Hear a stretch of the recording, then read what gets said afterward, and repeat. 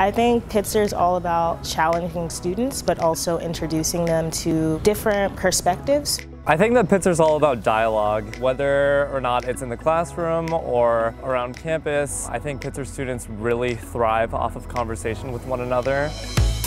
Personally, for me, Pitzer is about social change and personal change. It's about explorations, it's about finding your own interests and personality while studying here and making friends here.